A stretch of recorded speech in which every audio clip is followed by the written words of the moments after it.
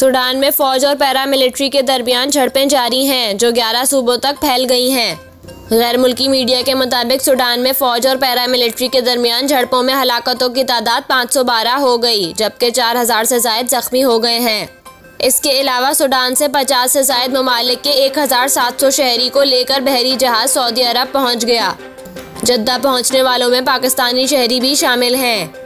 दूसरी जानब सूडान के शहरियों ने पड़ोसी ममालिक की जानब रुख कर लिया, जहाँ उन्होंने मिसर चार्ट और जनूबी सूडान में पनाह ले ली है। सूडानी फौज ने माजूल सदर उमर अल बशीर की जेल से फरार की तरदीद कर दी, जबकि अमरीका ने सूडान में जंग बंदी और मसले के सियासी हल पर ज़ोर दिया है।